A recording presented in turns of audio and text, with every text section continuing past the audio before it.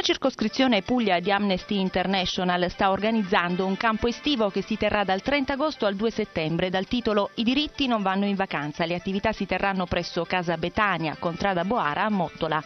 Il campo è interamente gratuito ed è rivolto ai giovani con un'età compresa tra i 18 e i 30 anni.